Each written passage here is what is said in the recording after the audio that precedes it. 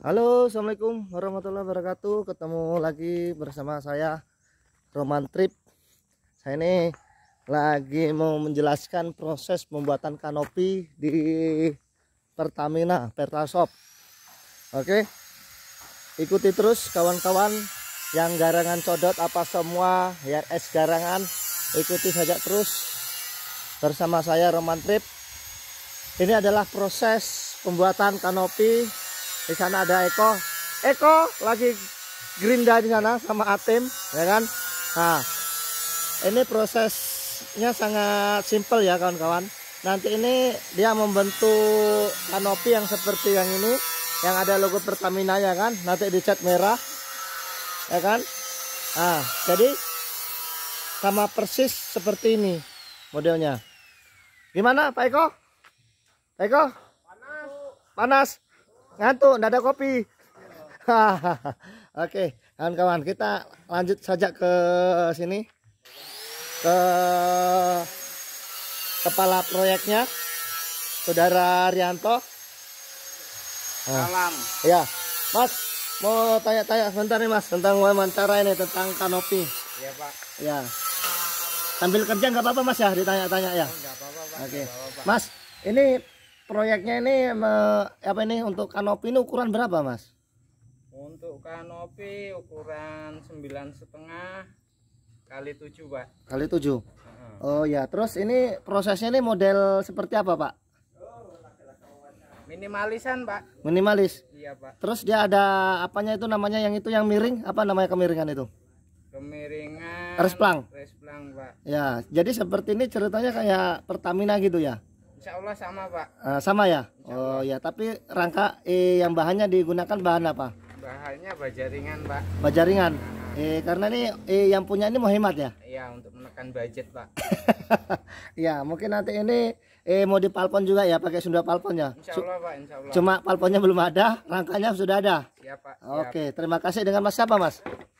Saya Rianto pak. Eh, di tolong mas nomornya mas. Siapa tahu nanti eh bos-bos di sini yang mau bikin kanopi yang seperti ini eh bisa menghubungi sampean. Tolong mas nomornya mas. Berapa mas? Gampang pak. Subscribe aja dulu. Ya silakan berhubungan sama yang punya YouTube pak. Oh gitu. Ah, iya pak. Oke kalau gitu sukses selalu Mas Rianto.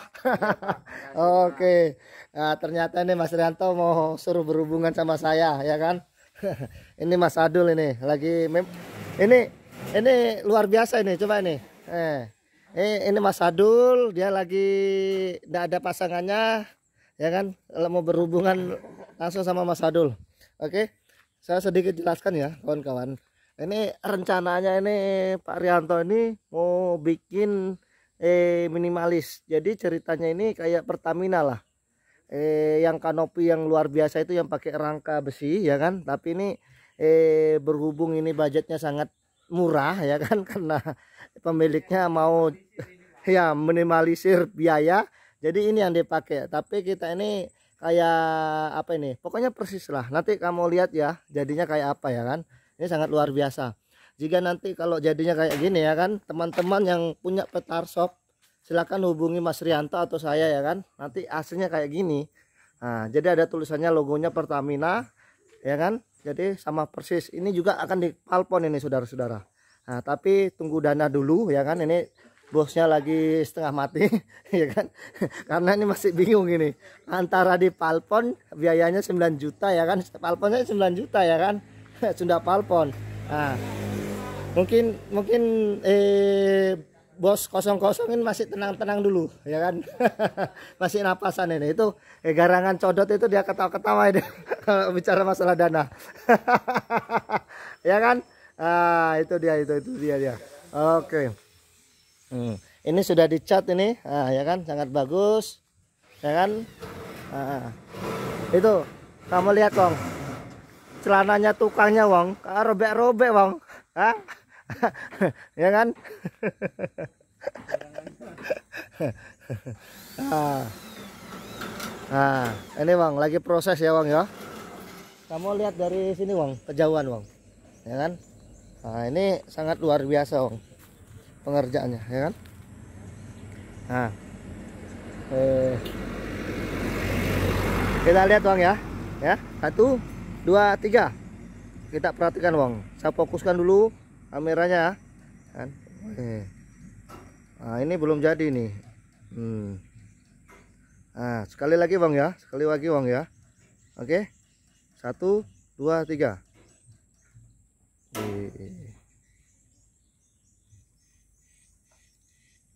Nah, luar biasa, Wong. Nah, nanti ini jadinya kayak apa ya kan? Kamu pasti penasaran, Wong. Makanya ikuti terus channel saya. Hanya di Roman Trip. kamu subscribe gratis, Wong. Ya kan? Nah, nanti kamu tambah ilmu, tambah pengalaman di YouTube saya kan karena di sini bukan jalan-jalan saja, Wong. Ini salah satu motivasi untuk jadi pengusaha di sini, Wong. Di YouTube saya. Ya kan? Jadi orang nggak bisa, jadi jadi bisa jadi orang nggak punya jadi punya wong cuma hanya di YouTube saya di Roman Trip hahaha coba ini bayang ini Pak Rianto ini sudah ikut sama saya sudah lama. Ini rekanan kerja saya wong selama saya ini teman saya main ini wong ini dia. Dari kecil tahun berapa dulu saya main? Dia dia main sama saya dulu main Tamiya ya kan? Dia orangnya kalah terus. Ya kan? Tidak tahu kalah modal atau kalah apa yang penting kalah dia. Dia lawan saya main eh Tamia dulu bang nih Pak Rianto ini. Sekarang rekanan kerja saya nih bang. Sekarang dia luar biasa skillnya. Dia mempunyai bakat yang luar biasa yang tersembunyi. Dia bisa dari nol pondasi ya kan? Nol pondasi pembangunan sampai finishing. Kalau kita pasrahkan sama beliau ini master. Nah ada master ini luar biasa wong pokoknya itu rumah jadi. Kamu minta gambar apa wong bisa. Coba ini alatnya wong eh. Eh coba kamu lihat wong alatnya. Ini adalah tukang yang modern wong. Nah dia tukang modern nih wong. Ya kan? Nyemprotnya pakai gini wong. Hasilnya juga luar biasa bagus. Jadi mengkilat. Nah ayo wong. Ya kan? Eh luar biasa om hmm. ajaran tong? Penreti ngono mau balik lo dek wong. Mau balik dek. Bos orang nek tukange ngene ngene ngene. Lo memang kuwi eh didekne dhisik karo bos wedok cek mumet bos wedok. Ya kan? Pe masuk wae. Ngechat baru masuk deh anu kok. Oke okay? eh coba ini. Bangunan ini ya kan? Eh kabel. Ya kuwi ae dhisik nggih ngecop kuwi kan kabel aku anu ngono. Eh kabel dawa.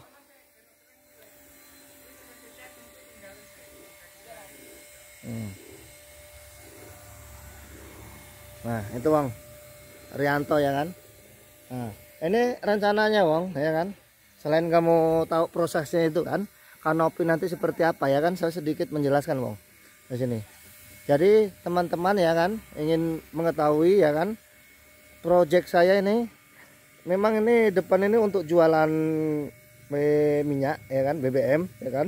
Tapi di sini ini ada hal yang misi yang terbesar yaitu bagaimana ini bisa jadi supermarket ya kan. Karena kita ini lagi zamannya apa lagi nih eh aduh lupa saya lagi bang. Ya zamannya anak muda ya kan. Nah ini rencana saya mau buat toko ya kan. Toko ya ala ala eh supermarket doakan bang. Semoga nanti bisa menyerap tenaga kerja lagi ya kan? Kalau usaha terus ada kegiatan usaha pasti ada tenaga kerja bang. Jadi saya memang punya tujuan bagaimana eh, saya mempunyai usaha itu bisa menyerap tenaga kerja ya. Jadi seperti begini kan ya kan? Tidak menatap kemungkinan mempekerjakan orang-orang yang tidak punya kerja jadi kerja ya kan nah ini luar luar suatu luar biasa yang sangat luar biasa menurut saya. Nah, jadi itu motivasi bang saya sebagai pengusaha ya kan? Nah ini sekitar 10 meter kali 30 masih ada sisanya. Saya rencana mau buatkan supermarket wong nah, sampai sana ya kan? Nah ini batakonya cuma kita ini fokusnya ke depan dulu wong karena biaya juga luar biasa ya kan? Jadi butuh memang hitung-hitungan yang pas. Nah karena siapa tahu nanti kita ambisius sampai ke sana terus dana pun tidak sampai ya kan? Kan percuma ya kan? Mendingan sampai di sini aja dulu. Ini dirapikan. Nah, karena ini menyambut apa ini? Mau lebaran ya? Jadi harus selesai dulu nih. Oke? Mungkin gini aja bang eh, motivasi buat saya sebagai pelaku usaha yang belum usaha semangat wong karena kita ini tidak lepas dari doa orang tua dan saudara-saudara kita yang mendoakan ya kan? Kita harus semangat tetap semangat. Oke berjuang terus. Mungkin saya akhiri kata-kata saya semangat ya. Oke assalamualaikum warahmatullahi wabarakatuh